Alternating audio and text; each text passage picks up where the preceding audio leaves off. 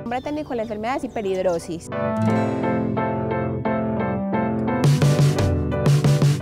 Sabemos que el sudor se usa para eh, pérdidas de calor y todo eso, sobre todo cuando la temperatura pues aumenta o en situaciones como el deporte y todo eso. Eh, la situación es que hay algunas personas en que esta regulación de la temperatura está alterada, entonces pierden más calor del que uno necesitaría en un clima específico durante una actividad deportiva. La idea es que la hiperhidrosis sobre todo aparece en la infancia y la adolescencia, pues con la adultez tiende como a regularse precisamente porque uno no hace tanta actividad física como el niño. El niño corre más, digamos que hace más pérdidas de calor porque también su sistema nervioso central está pues, en desarrollo.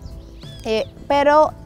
digamos que uno puede identificar como los niveles de hiperhidrosis que serían como aceptados para un niño y tiene que aprender a identificar cuando se hace excesivo.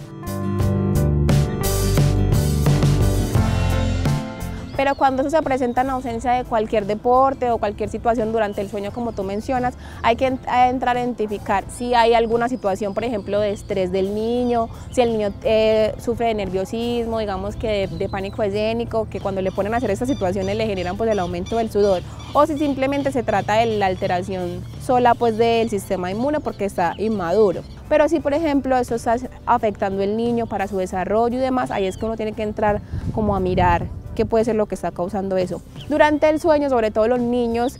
tienden a soñar mucho y a hacer muchas actividades durante ese sueño, pues que ellos sueñan que son superhéroes, que saltan, que todo eso, y el sistema inmune recibe esa información, el sistema nervioso, perdón, recibe esa información como si estuvieran haciendo una actividad y por eso durante el sueño puede presentarse la hiperhidrosis.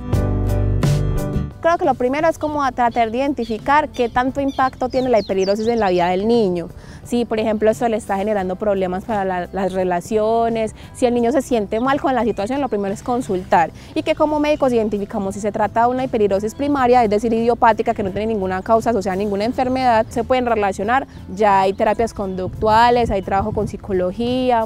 y sobre todo porque en la adolescencia esto tiene mucho impacto porque puede asociarse con cosas malas como el desaseo, como descuido y muchas personas sufren digamos que el señalamiento por esa causa, entonces hacer la identificación temprana, sobre todo pues como en la niñez y darle un tratamiento ya sea conductual, si es una cosa meramente psicológica o si hay alguna enfermedad de base que puede ocurrir, no es lo más común pero puede ocurrir.